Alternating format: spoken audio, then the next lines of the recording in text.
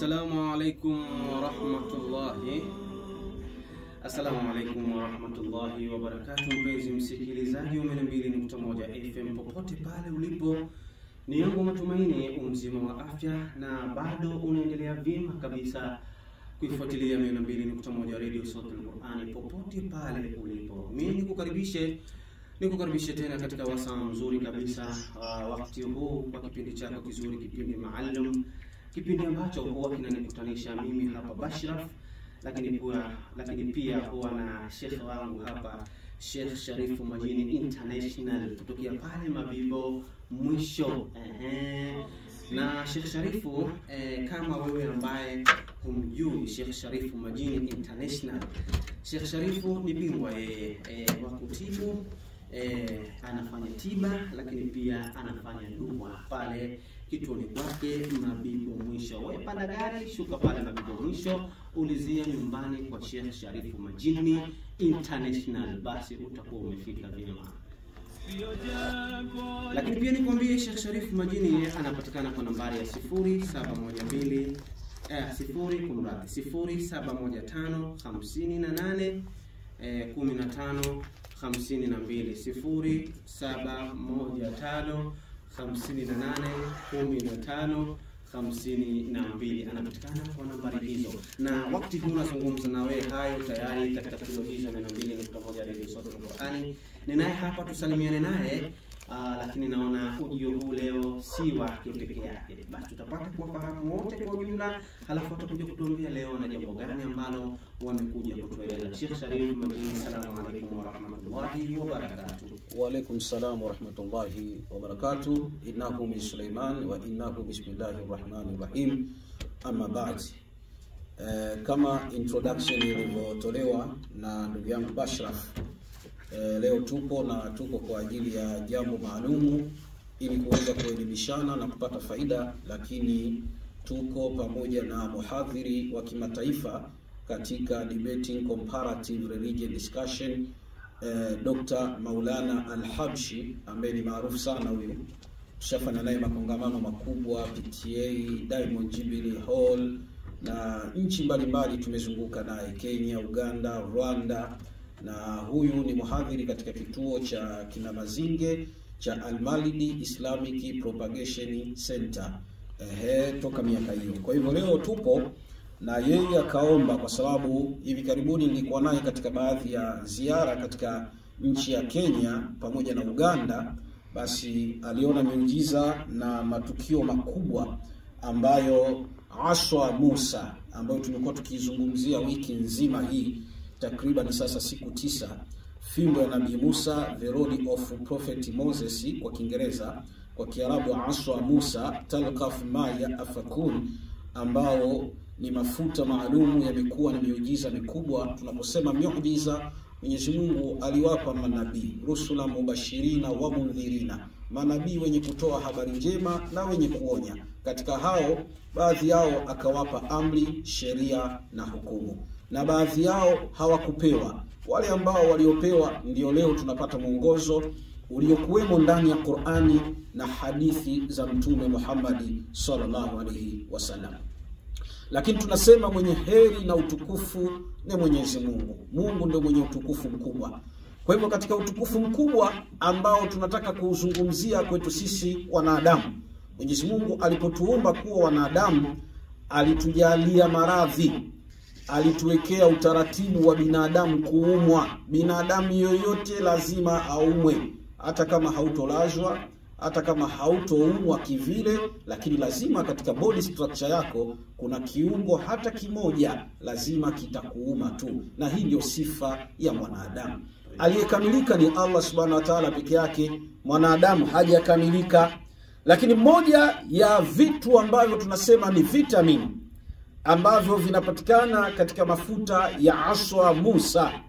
Mafuta haya vitamini vyake ambavyo vimekuwa ni faida kubwa kwa mwanadamu, moja kati ya vitu ambavyo tunasema ni madini chuma, madini ya chumvi. Yaani chumvi inapatikana katika vitamin ya mafuta haya, au tunaweza tukasema pia calcium pamoja na chuma, vitu ambavyo ni muhimu sana katika mwili wa mwanadamu. Madini haya ni muhimu sana katika mwili wa mwanadamu katika kukinga baadhi ya maradhi aliyokuwa nayo. Ndio maana unasikia mtu anapokuwa na ukosefu wa kinga katika mwili wake kwamba huyu anaambiwa kaathirika. Kwa sababu gani? Hana kinga katika mwili wake. Lakini pia katika madini, katika madini haya yenye vitamini A na vitamini C yamekuwa na faida kubwa sana kwa mwanadamu. Maana yake kukupa kirutubisho, lakini pia kukujengea homoni zako za kike ama za kiume, kukuweka katika hali iliyokuwa nzuri, hata kwa yule ambaye asiyepata uzazi, hata kwa yule ambaye anayepata maradhi ya tumbo, hata kwa yule ambaye anayepata maradhi ya kichomi katika mwili wake.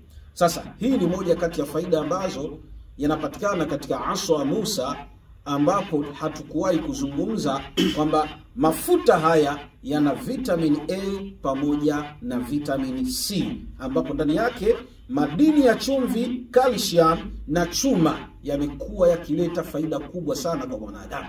Ndio maana sisi Mwenyezi Mungu ametuumba baadhi ya wanyama wakiwemo ng'ombe, wakiwemo mbuzi, wakiwemo kondoo. Kuna majani ambayo ng'ombe, kondoo, mbuzi wanakula. Wewe mwanadamu, yale majani ukila unakufa, lakini ili uweze kupata vile vitamini ambavyo vinapatikana katika yale majani, ni lazima umle kondoo, ni lazima umle mbuzi ama umle ng'ombe, kwa sababu yeye anapokula yale majani kuna vitamini vinaingia katika nyama. Mwenyezi Mungu akaweka kadhalika hivyo hivyo katika bahari. Kuna samaki ambao sisi tunaruhusiwa kuwala na kuna samaki ambao ukiwala wanaweza wakawa ni sumu. Sio kila kilichopo katika bahari kinaliwa, kuna kingine sio ki, kuna kingine hakiliwi. Ndio mtu anaweza akasema vyote vinaliwa. Bahari ya sasa hivi sio kama bahari ya zamani, linaweza likatokoza lidubwasha tu likonokono au linini la ajabu ajabu, ukalila ukashangaa unapata sumu, mnakufa. Na tushaona wavuvi wengi, baadhi yao wamevua samaki nchi mbalimbali, na samaki alipovuliwa wakamla, walipomla yule samaki na watu wakafa. Maana yake nini?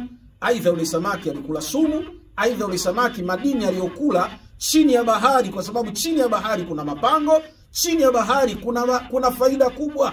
Kwa hivyo sisi tunapokula samaki perege, tunapokula samaki sato, tunapokula samaki kambale, eh, kama ni kambale, kama ni nini wanaliwa, maana yake unapokula wale samaki kuna virutubisho vya madini ambavyo mwanadamu unapomla yule unavipata wewe, lakini automatically yale madini ili yaweze kukuingia ni lazima umle samaki, yale madini ili yaweze kukuingia ni lazima umle ng'ombe.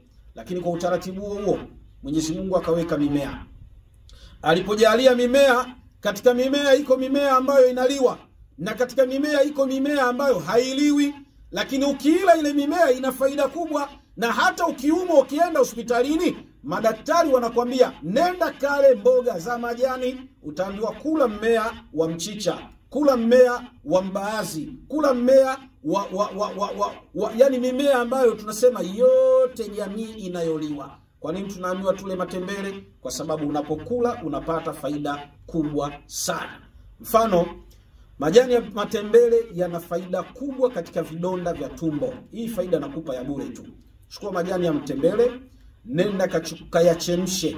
Ukishayachemsha majani ya matembele, alafu saga na blenda, ile juisi yake utakunywa asubuhi, mchana na jioni. Ndani ya siku ishirini, kama ulikuwa na vidonda vya tumbo vitaondoka. Mwenyezi Mungu ametuwekea utaratibu wa mimea, akatuwekea utaratibu wa wanyama, akatuwekea utaratibu wa samaki ambao ni kitoweo hiki chote, lakini Mungu akatuwekea utaratibu wa matunda pia, kwamba katika matunda haya kuleni, yana faida kubwa, na katika matunda haya msiale, endapo kama mkiala yanaweza yakawaletea madhara makubwa. Kama vile alivyoambiwa baba yetu Adam kwamba mti huu usiusogelee au matunda haya usiale, na alipokula kwa kushawishiwa na Ibilisi, kilichotokea kila mmoja anajua. Matunda yana vitamini ambayo kila mwanadamu unapata faida katika afya yako, na kuna matunda ambayo hayajaruhusiwa ukiala wewe, yanaweza yakakuletea maathari. Mungu ndo ameweka utaratibu huo. Moja kati ya tunda zuri kabisa ni tende. Tende ni tunda, mtu anaweza akasema kama sio tunda, ni tende, ni tunda. Ukilila tende kwa mwanamke mjamzito ambaye mimba yake inachelewa kujifungua, imepitiliza miezi, achume magwa, ma, matende yake atoe kokwa, alafu asage na brenda Akishasaga na brenda atakunywa glasi moja asubuhi, atakunywa glasi moja jioni. Ndani ya siku saba mwanamke huyo kama mimba yake imepitiliza miezi tisa, anazaa kwa uwezo wake Allah subhanahu wa ta'ala. Katika mimea yakasagwa unga ikapatikana katika unga mule kuna kuna kuna kuna kuna kuna kuna, kuna, kuna mimea mbalimbali ambayo yanaweza yakatajwa kama vile mkunazi kama vile msaka uchawi na mimea mingineyo. Mkunazi ina faida gani? Eh, habat sauda ina faida gani? Yote imetokana na mimea.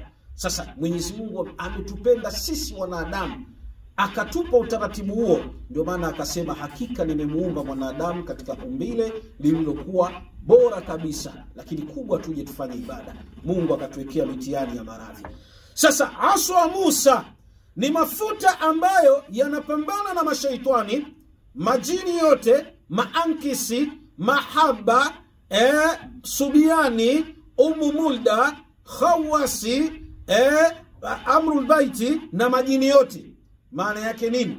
Maana yake haya mafuta yanatokana na baadhi ya mimea ukiwemo mti